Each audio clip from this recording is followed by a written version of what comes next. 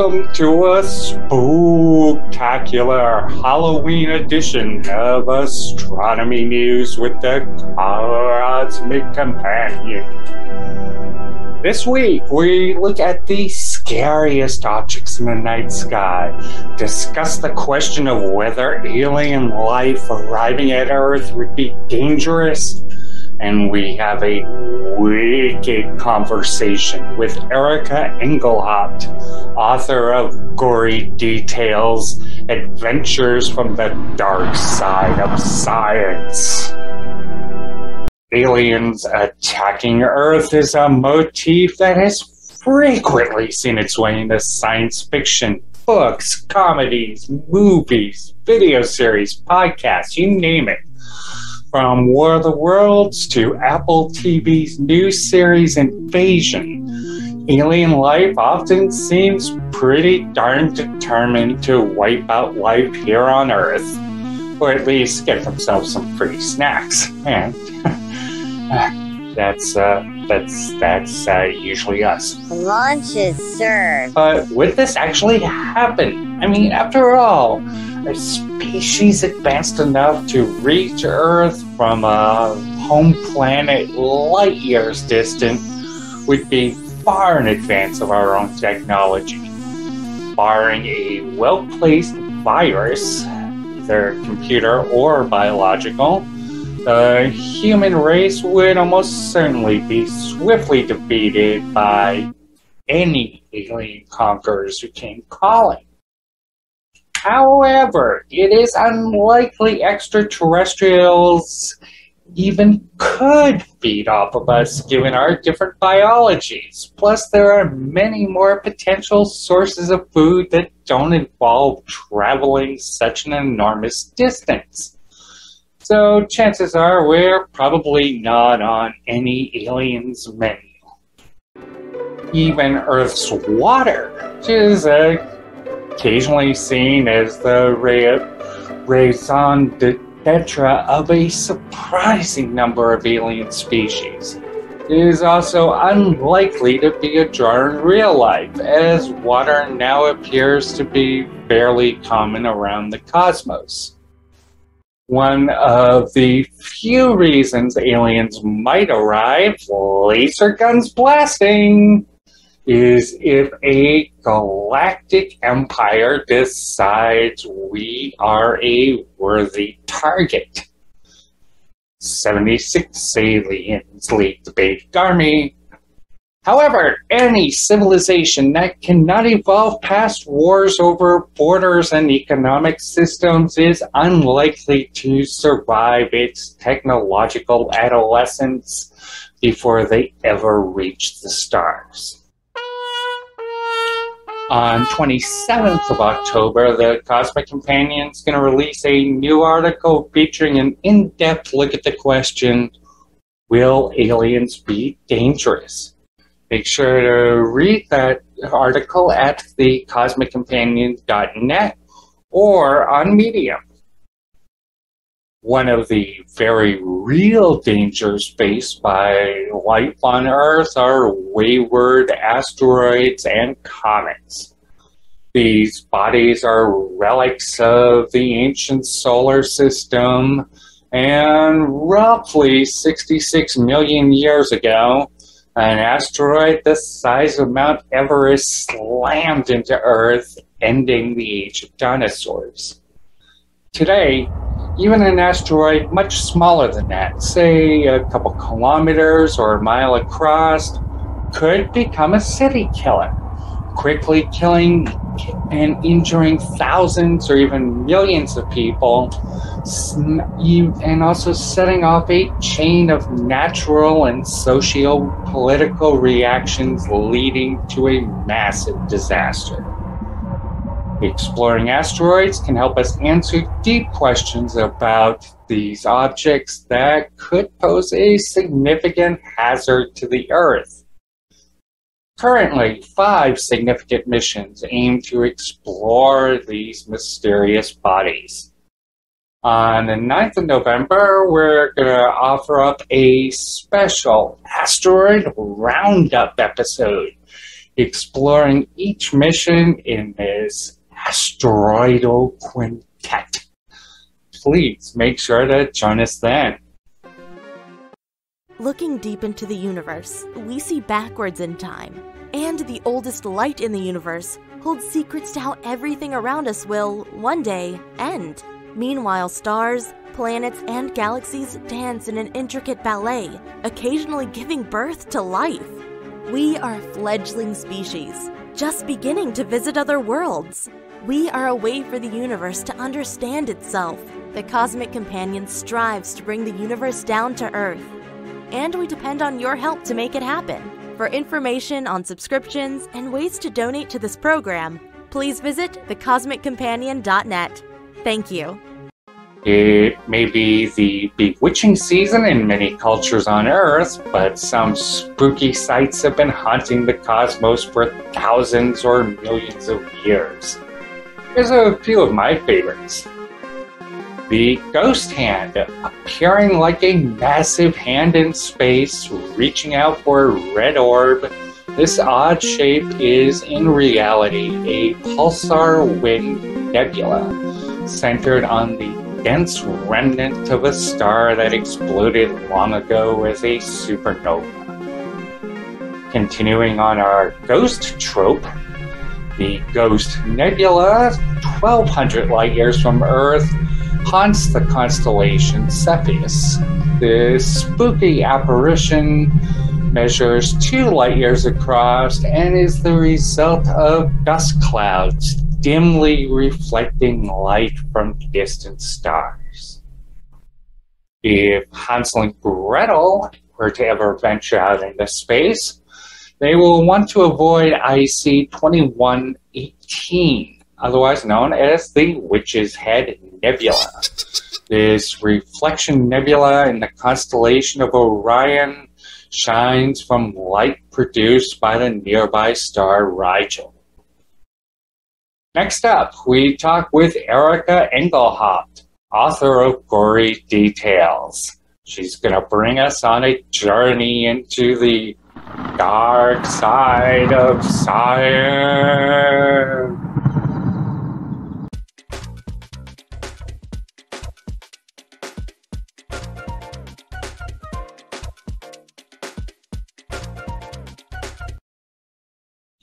This week on Astronomy News with the Cosmic Companion, we're happy to be joined by Erika Engelhaupt.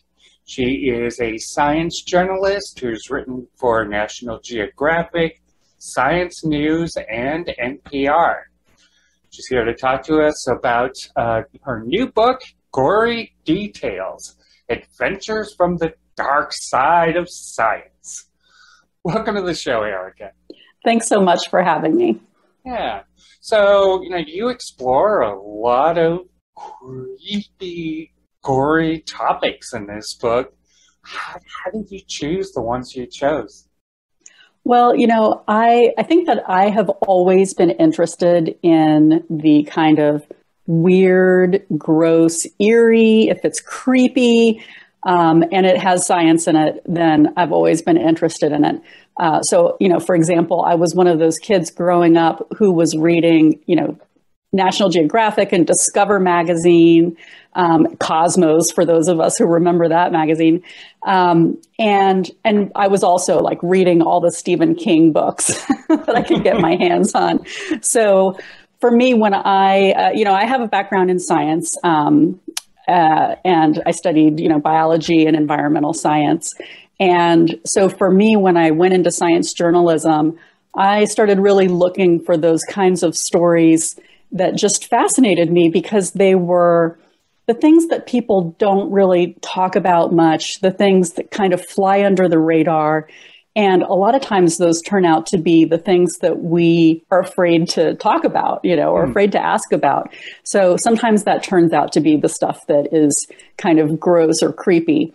And um, you know, when I started looking, when I when I was coming up with the idea originally for a blog called Gory Details, which then turned into the book eventually, um, you know, I, I would just look at my bookshelf at the kinds of popular science books that I like to read, and they all had titles like, you know, blood work and the killer of little shepherds and little you know it was all like forensic science kinds of stuff. And um, and anything that was like kind of gory medical histories and things like that. So um, so for me when i started you know writing about that stuff it just really kind of took off and i've really enjoyed it and was really thrilled when uh, when national geographic uh, you know, decided to turn the blog into a book because that gave me a way of, you know, expanding things that I had already written about and getting the opportunity to write about a whole bunch of new stuff. So, so I started off, you know, just thinking like, ooh, what are kind of some of the things that I've always wanted to write about um, and haven't had a chance to, and can I get those into the book? So, um, so one thing, for example, you asked, you know, how how do I pick topics? Um, it really comes down to uh, things that just catch my attention and fascinate me. And if there's some interesting bit of science that can go deeper, uh, and something that I think, gee, a lot of people don't know about this, that's when I really get hooked. So, you know, for one example was uh, for the book, I got to go travel to a laboratory where scientists are studying the mites that live in our faces. And so, all right, I'm already grossed out. yeah, I know. It's Please it is, continue. but it, it exactly right. I look for the things where people say that's gross. Tell me more. that's gross. Good, Tell me more. That's a pretty good description of the things that appeal to me. And um, you know, when I found out that that scientists were studying these little mites that live in our faces, and that they're basically living in all of our faces, like we all have them. You know they're in your eyebrows they're in your pores on your face and they're on other parts of your body too living in your pores.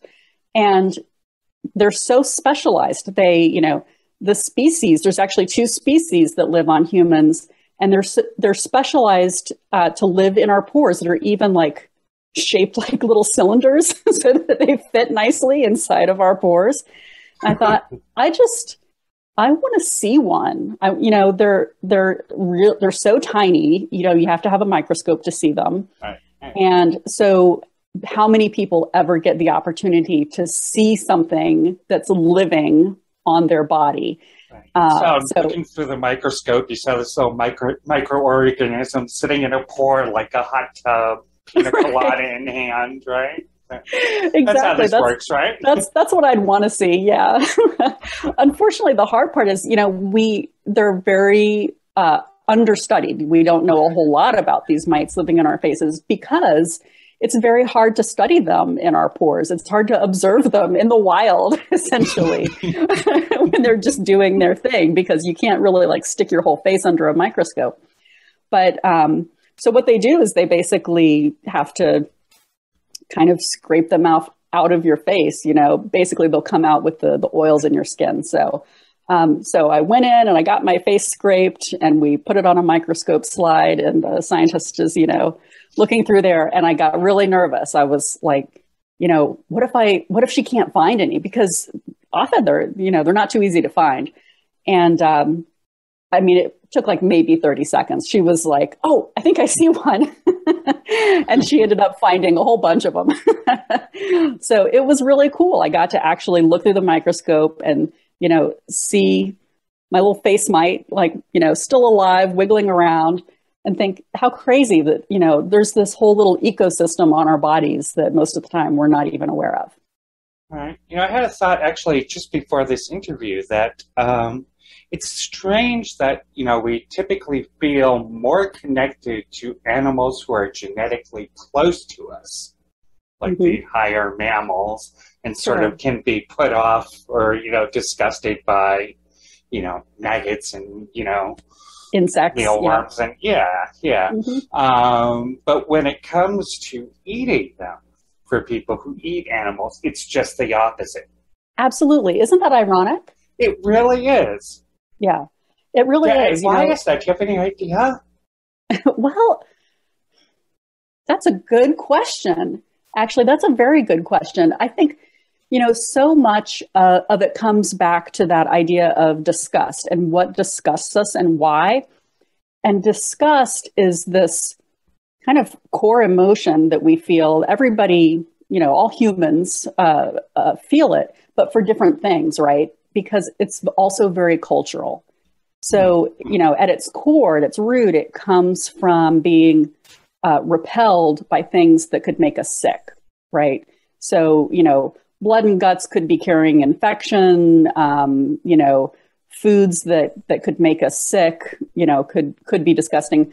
But often, what we're disgusted by doesn't necessarily make sense because as humans, we've really we've taken that sense of disgust and we've elaborated on it. We're the most easily disgusted animals in the world. I'm sure of it. I'm sure of it. I don't think there's any other animal in the world that's disgusted by as many things and by as random things as humans are. Uh, you know, one interesting thing that I talked to um, a scientist who studies disgust about, she said that, you know, humans really de- evolved this kind of sense of manners, probably because of our disgust. You know, we have this whole system of manners that you know you, you don't chew with your mouth open. You don't um, you don't do things basically that would disgust someone. And we do that to protect each other from our disgustingness which i think is, is really interesting you know that we we are so easily disgusted that we have to constantly be on our guard as social creatures so that we're not constantly disgusting one another And, you know, this is, of course, the Halloween episode of the show.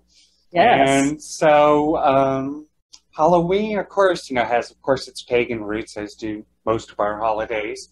Um, but Halloween also combines disgust and, you know, gore Yeah. with scary with fear. yeah What, what what do you see as the difference between those two, and how do they combine into this really Yeah. awesome holiday? Yeah, it's, I mean, it really is. It's like the one day of the year when we really get to embrace the gross and the scary and the creepy all in one, uh, which I think is a lot of fun. You know, it's like we kind of let loose, you know, that one day and we're not quite so uptight. So I think there are a lot of reasons why we sometimes enjoy fear and we sometimes even enjoy being grossed out. I think it's kind of a related phenomenon. And I think to begin with, you kind of have to look at what's happening in our brains when we're experiencing fear, for example. So um, with fear, you're uh, you're getting, you know, something, you see something scary or sense something scary, and that triggers a part of the brain called the amygdala. And the amygdala processes fear, it sends signals to other parts of your brain, and it sets off this whole cascade of effects, including your fight or flight response, which is where, you know, your adrenaline gets up and your heart starts pumping, cortisol, the stress hormone.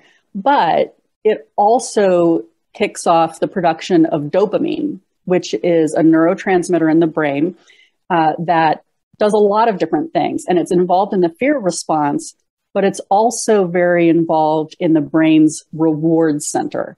So it's also associated with feeling pleasure. So, in a sense, when you are being frightened, you know, you're getting this whole kind of rush of chemicals, and there really is kind of a rush, a high that you get when you're afraid. Um, and some people feel that more so than others. You know, obviously, there's this like spectrum. There's the people who love the haunted houses and the scary movies, the people who want nothing to do with them. And interestingly, uh, scientists have found that some of the people who love the haunted houses, those thrill seeking type personalities, those people tend to, when they see something scary, they um, are actually producing less of the cortisol and stress hormone and more of the dopamine, the pleasure and reward chemicals. And That so they're actually, yeah, they're, th- those are people whose brains Yeah. are responding in that way. So they're getting more of a reward and the thrill from the fear, whereas other people may be just pumping out all this stress hormone and they're not getting so much of that reward. So for them, there's you know there's nothing in it for them. Um, it's just stressful and scary. So I think it's interesting, um, and I think it relates also to what happens with why we like being grossed out sometimes. Uh, you know, it's kind of a similar phenomenon where um, actually, I've heard some scientists refer to it as benign masochism, which is a name I love. Uh, masochism is, you know, where you kind of want to feel pain. Um, but the benign part of benign masochism is that you actually know you're going to be okay in a situation like a haunted house or, you know, or a scary, gross out movie. Um, so you get to kind of experience some of the thrill and the the the fun part, if you will, of being um, afraid or being grossed out. But you actually know that you're safe. You know, you know that you're, that thing that's gross isn't really going to make you sick, or the thing that's scary isn't really going to hurt you. So I think it's interesting that those are they're both very powerful emotions that humans feel, and so we can kind of respond to them in similar ways. Hmm, that is so interesting. And just okay, what you know, you talk about in your book about you know some of the some creepy science experiments you know mm-hmm. out there the, the phrase body farms come to mind. yeah, you know, what's some of the things out there in science. there's there's so much creepy in science. body farms are one of those things that you know sound really creepy. So this is where um, there are several across the country. There's one right here in Knoxville, Tennessee, where I live. Um, oh, oh that, that makes the place attractive. Slap that right on the tourist brochure. Right. We have a body farm. um, the good news is they're not exactly farming bodies there, but they do uh, research on, you know, forensic science research where they're looking at the decomposition of, of human bodies over time. And you need to look at, at that in different kinds of environmental situations. Um, and, you know, di- basically different conditions. So there are several of these body farms where they're doing this kind of research. Um, they use donated bodies, people who've donated their bodies to science to be used uh, for this work, and um, and they basically can do all kinds of experiments, seeing like, for example, what are all of the bacteria that grow on the human body when we die, and mm. can you use those? Can you sample those and tell something about the time of death, for example. That's one of the, the things that, that they're looking at. Um, and it actually turns out to be pretty reliable, you know, and it's not that different when you think about it from, you might have seen on, on shows like CSI that they'll use insects, you know, if there's maggots on a cadaver or something like that, they'll use those and say, oh, well, the insects, you know, would have colonized this body this many days ago, that kind of thing.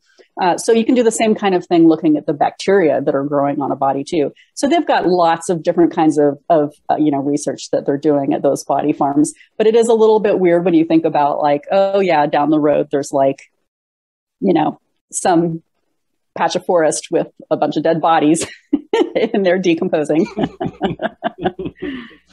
we put the corpses back in corpses to like die. That's right.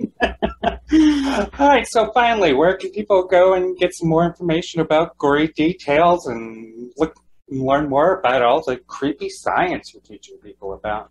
Absolutely. So you can go to my website. You can go to gorydetailsbook.com and you can find out lots more about the book and where to buy it and things, other things that I'm doing, so forth. So uh, you can also find me on Twitter at Gory Erika. And, um, what else? Uh, you know, I also encourage people always, if you can, to um, to you know shop at your local independent bookstores yeah, if you have them. Local bookstores, and um, but you can also buy the book, um, you know, on Amazon and all of the usual places. And there's also an audiobook version, which is fantastic for those who are big podcast listeners and audiobook fans. That's great. Well, thanks so much for being on the show, Erika. It was a lot of fun talking with you. Thank you so much. It was a blast. Take care. You too. And that was Erika Engelhaupt, author of Gory Details Adventures from the Dark Side of Science.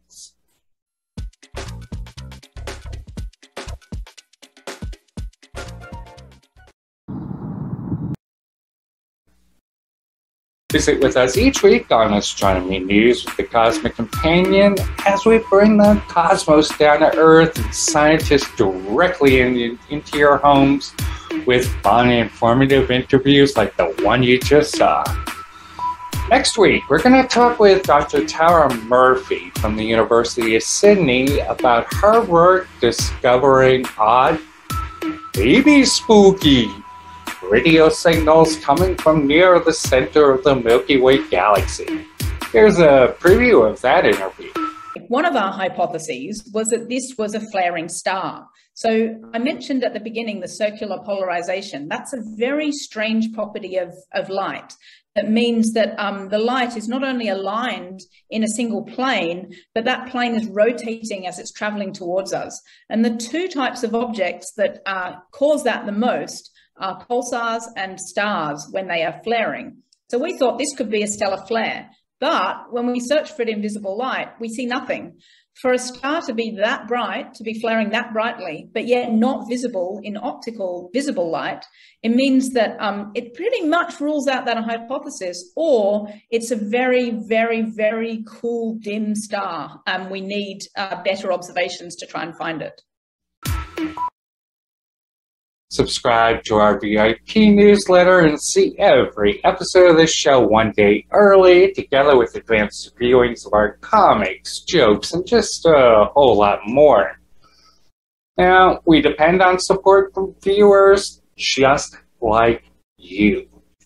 For ways to help support this program, including VIP subscriptions, please visit thecosmiccompanion.net forward slash support. Trick or treat. Please stay safe, stay healthy, and keep your wonder alive. Or at least undead.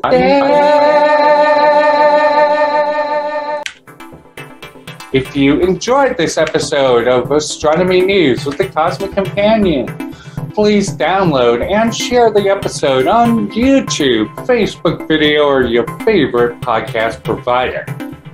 Remember, you can watch every episode of this show at thecosmiccompanion.tv. For more details on space and astronomy news, please visit thecosmiccompanion.com or thecosmiccompanion.net happy Halloween.